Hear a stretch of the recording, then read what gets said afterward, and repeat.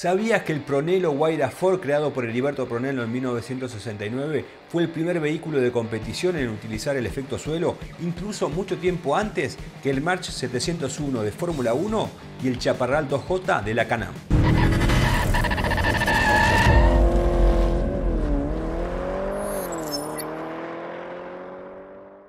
Las pruebas realizadas en el túnel Catesby en Inglaterra demostraron que el Pronelo Guaira Ford, concebido por Heriberto Pronelo en 1969, fue el primer vehículo de competición en el mundo en utilizar el efecto suelo.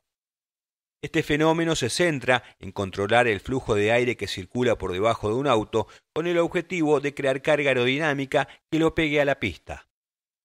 Pronelo creó el Guaira para participar en la categoría Sport Prototipo, que solo disputó cuatro temporadas entre 1969 y 1972. El ingeniero argentino, que previamente había tenido éxito con los Torino de Turismo Carretera, creó dos ejemplares de este auto. Con el respaldo de Ford, Pronelo puso esas dos unidades en manos de Carlos Alberto Reutemann y Carlos Pasqualini, quien logró el único triunfo del prototipo en Rafaela el 22 de junio de 1969. Los resultados logrados en el túnel Catesby, un complejo aerodinámico que tiene entre sus propietarios al ingeniero argentino Sergio Rinland, confirmaron que el Guaira utilizó el efecto suelo varios meses antes que otros vehículos que también han quedado en la historia.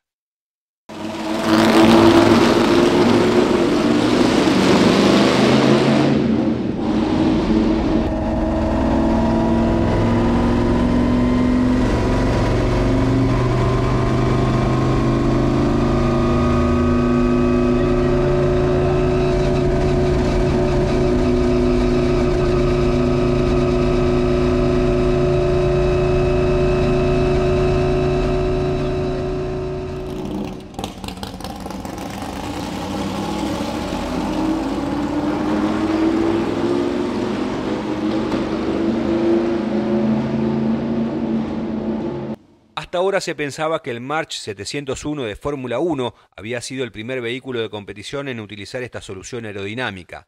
Diseñado por Robin Hart y Peter Wright, este monoposto debutó en la máxima categoría en marzo de 1970, un año después que el Guaira se estrenara en el Sport Prototipo. El March 701 se destacaba por sus pontones en forma de ala invertida el concepto que años más tarde utilizó Colin Chapman en los Lotus 78 y 79, dos Fórmula 1 que en definitiva aprovecharon el efecto suelo al máximo. Por aquella misma época apareció en los Estados Unidos el Chaparral 2J. Creado por la empresa de Jim Hall y James Sharp, debutó en la Canam el 12 de julio de 1970 en Watkins Glen.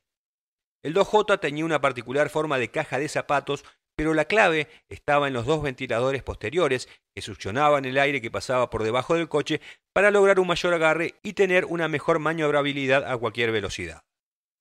Al finalizar el año, la Federación Internacional del Automóvil le bajó el pulgar al chaparral tras recibir una denuncia de Bruce McLaren que indicaba que los ventiladores eran piezas aerodinámicas móviles. El sistema de ventilador fue utilizado en la Fórmula 1 por el Brabham BT46B, que debutó y ganó con el austríaco Niki Lauda como piloto en el Gran Premio de Suecia de 1978. Pese a semejante estreno, el equipo regenteado por Bernie Eccleston decidió no volver a utilizar el BT46B por cuestiones políticas. Aunque el Pronelo Ford no fue exitoso debido a una gran cantidad de problemas mecánicos, su avanzado diseño es el reflejo de una época del automovilismo argentino en la que el ingenio no tenía límites.